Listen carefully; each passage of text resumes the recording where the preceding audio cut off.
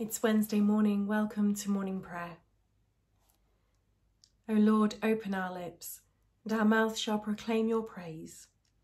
Blessed are you, sovereign God, creator of all. To you be glory and praise forever. You founded the earth in the beginning, and the heavens are the work of your hands. In the fullness of time, you made us in your image, and in these last days, you have spoken to us in your Son, Jesus Christ, the Word made flesh as we rejoice in the gift of your presence among us.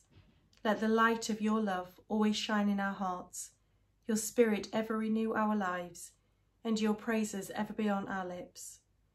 Blessed be God, Father, Son, and Holy Spirit. Blessed be God forever. The night has passed, and the day lies open before us. Let us pray with one heart and mind.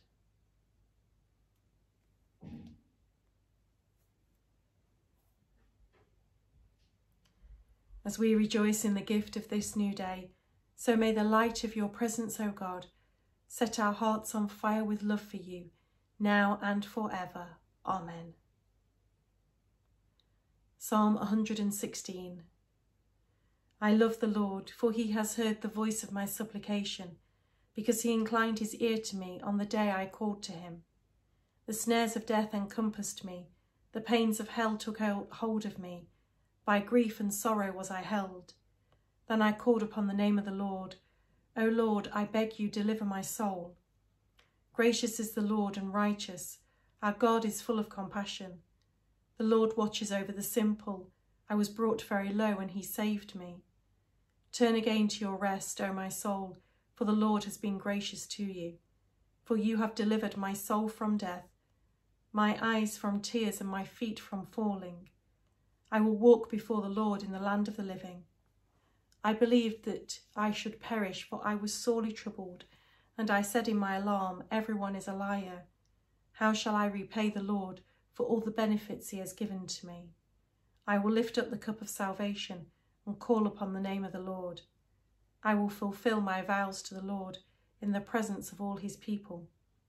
Precious in the sight of the Lord is the death of his faithful servants. O Lord, I am your servant, your servant, the child of your handmaid. You have freed me from my bonds. I will offer to you a sacrifice of thanksgiving and call upon the name of the Lord.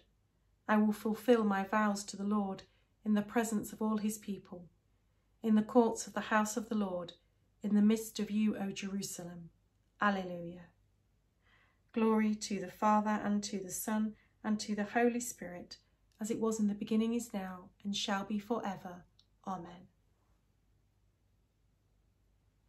The Canticle The Lord has anointed me and sent me to bring good news to the oppressed.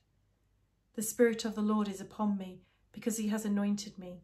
He has sent me to bring good news to the oppressed, to bind up the broken-hearted, to proclaim liberty to the captives, and the opening of the prison to those who are bound to proclaim the year of the Lord's favour, to comfort all who mourn, to give them a garland instead of ashes, the oil of gladness instead of mourning, the mantle of praise instead of a faint spirit, that they may be called oaks of righteousness, the planting of the Lord, that he may be glorified.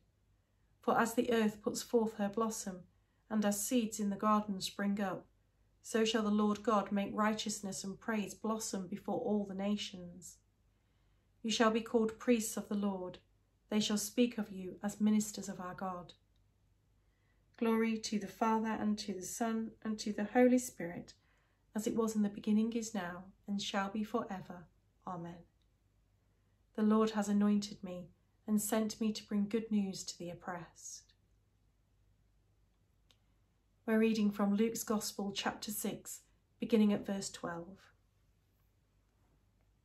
Now during those days Jesus went out to the mountain to pray, and he spent the night in prayer to God. And when day came, he called his disciples and chose twelve of them, whom he also named apostles. Simon, whom he named Peter, and his brother Andrew, and James and John and Philip, and Bartholomew and Matthew and Thomas, and James, son of Alphaeus, and Simon, who was called the Zealot, and Judas, son of James, and Judas Iscariot, who became a traitor. Here ends the reading.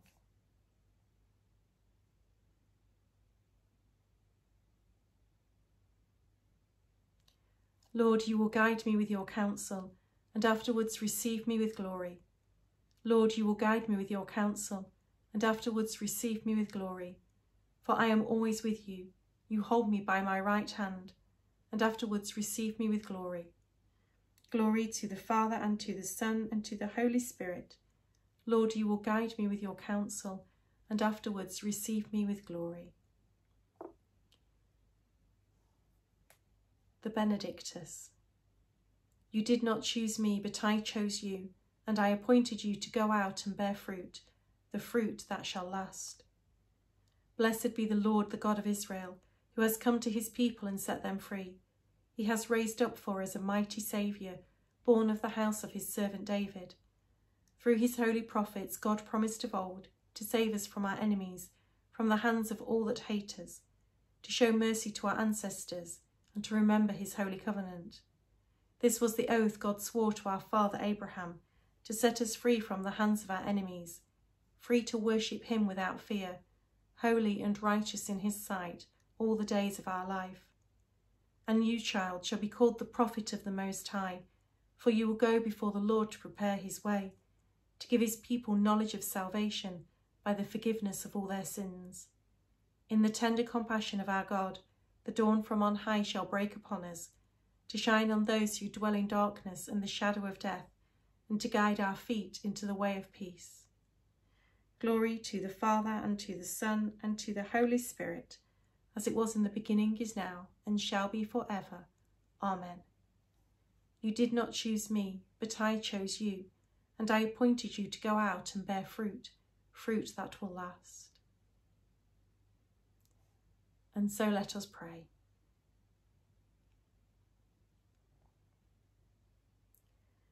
Almighty God, we pray today for the problems in our world. Father, we pray for peace between countries and nations. And we pray for peace in our own community. and we pray for peace and harmony within our families.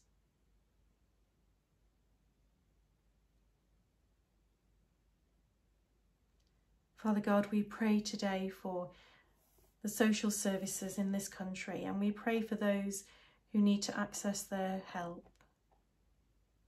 We pray for all those who work in the criminal justice system, praying especially for our local prisons.